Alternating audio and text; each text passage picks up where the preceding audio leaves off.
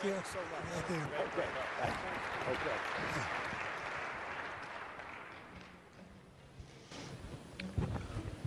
Well, Hank, I, first, first of all, I want to thank you for coming. It, uh, you honor us. It, uh, I should declare right off the bat that I'm a friend of Hank's. I've been so for some years. I admired him when he, before he took the job. I admire him a lot more after the job he's done as Secretary of the Treasury. Uh, the name of this book is On the Brink, and that's exactly where we were in September and October of 2008.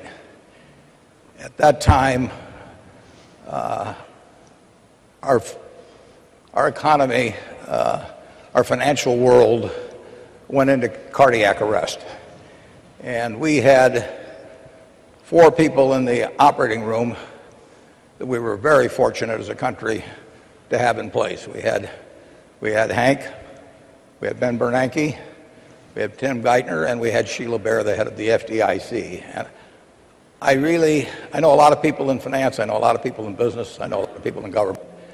And I can't think of four that would have done a better job of getting us through that. Now, it's, it's kind of fashionable now to look back and pick at one little aspect or another of what was happening then, but our country's financial system froze up during that period.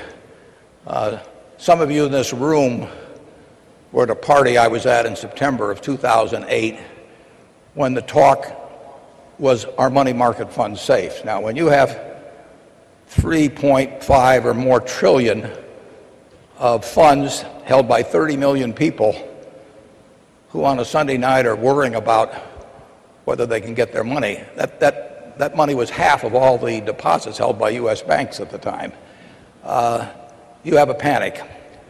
You had commercial paper freeze up entirely, and you had some of the biggest companies in the United States, and some of them are described in this book, that worried about whether they were going to meet their payrolls in a short period of time. You had the sixth largest bank in the country in terms of demand, uh, domestic deposits, Washington Mutual, fail over a weekend. You had the third largest bank, Wachovia, that uh, needed a shotgun marriage on a Monday morning to survive.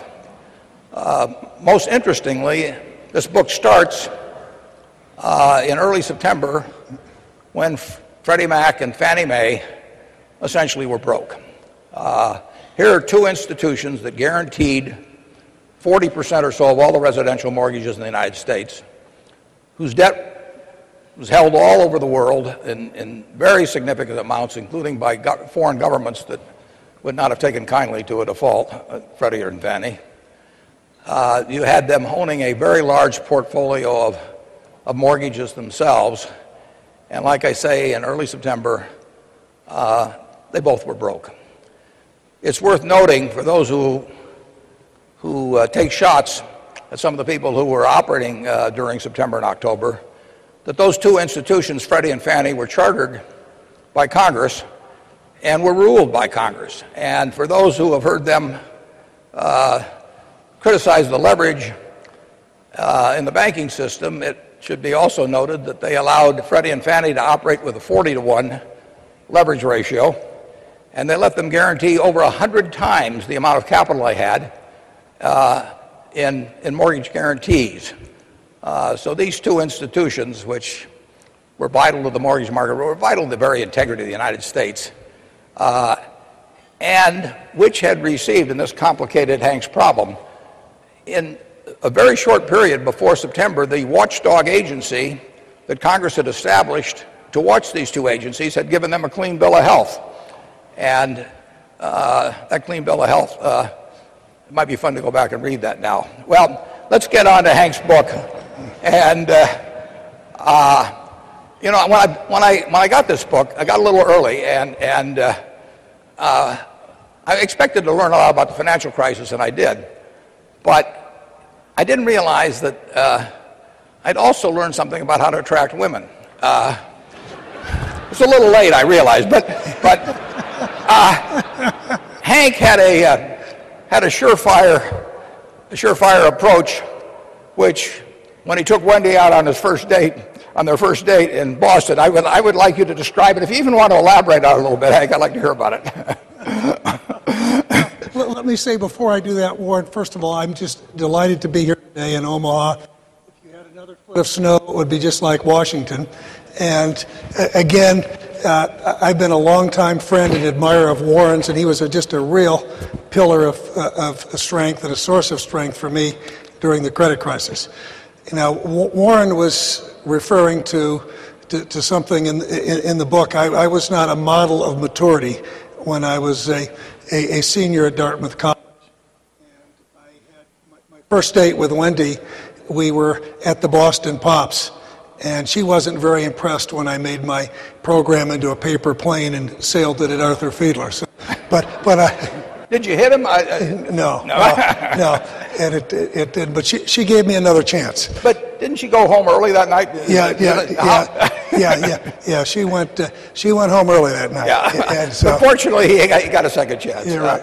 Uh, uh, and Hank, tell us a little bit about uh, uh, you know Hank's a he says in the book, he says, I'm, you know, I'm a tough guy. I forget where, at what point you said that. But he also, he was a wrestler at high school. He was all Ivy at Dartmouth as a tackle and everything. But when the president asked him to become Secretary of the Treasury, uh, and Hank's initial reaction was not to do it, but, but he decided to do it. But he had one big worry, and I think it, this crowd might be interested in knowing what makes a grown man tremble. well, it was, uh, Warren is talking about my mom. And I'm, I'm uh, uh, quite close to my mother. She's a strong woman. She's very engaged and interested in politics and policy. And, and, and she was not an admirer of, of, of George Bush and very unhappy with the war and uh, very interested in women's issues and so on. And so there, there had been a fair amount of speculation in the press that I might go to Washington. And I had turned down the opportunity a, a, a couple of times, and I had assured her that I was not going to go because I had no intent of going. And but then when I had reversed myself and decided very suddenly it was it was the right thing to do not to say no to my country, I was in Barrington, Illinois, where we where we live and still have our primary residence, and I was there on Memorial Day weekend because the president was going to make the announcement on the Tuesday after Memorial Day weekend. So I was going to see my mom Unfortunately, at church, we were at church together. I had a longtime friend uh, ask me about what I was doing next, and I told her.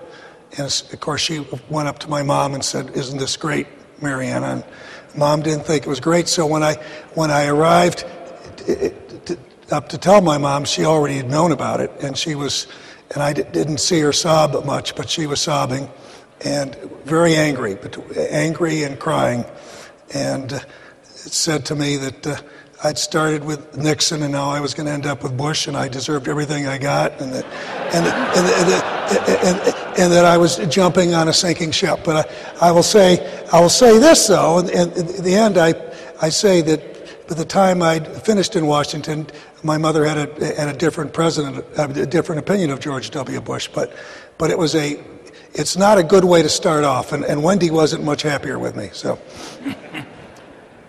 Hank, one of the most interesting things I found in the book, and I'd not heard a word about this before, was uh, your account of how the some top Russian officials had gone to some top Chinese officials with the suggestion, essentially, that they start dumping uh, the bonds of probably Freddie and Fannie at that time, uh, and and that almost sounds like a bear raid. I mean, I thought that was the sort of thing that just the evil guys in Wall Street did. But uh, tell me about that. Well, well it, it, it, never happened, and but we were very, very concerned about stabilizing Fannie and Freddie because, as Warren said, there's 5.4 trillion dollars of securities that were either insured or issued directly by these institutions.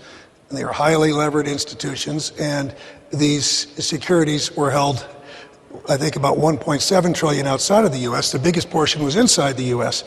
And we had gone, I, had been trying to get uh, reform legislation from Congress beginning in 2006 and to get the kinds of reforms we needed. But we were unable to, to get action until they, they were just on the edge.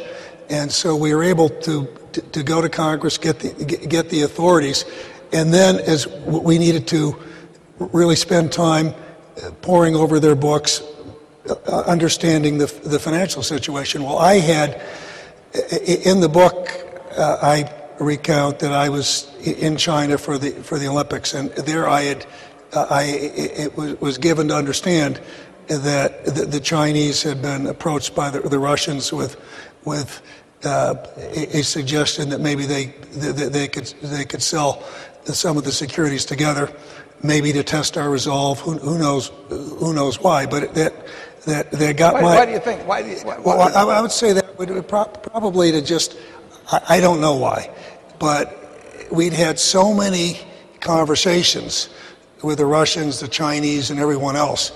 I just knew that just the, just any kind of, of sudden selling would have really spooked the markets. And I would say it, it, it never happened, but it was a, you know, when some people say to me, well, just about everything bad that could have happened did happen, I say, not quite. It, it, it felt that way sometimes, but you know, we, I, I, I worried about a, you know, the possibility of a sudden decline in the dollar or, or you know, other things that, that never happened. And one of the biggest concerns I had was getting Fannie and Freddie stabilized.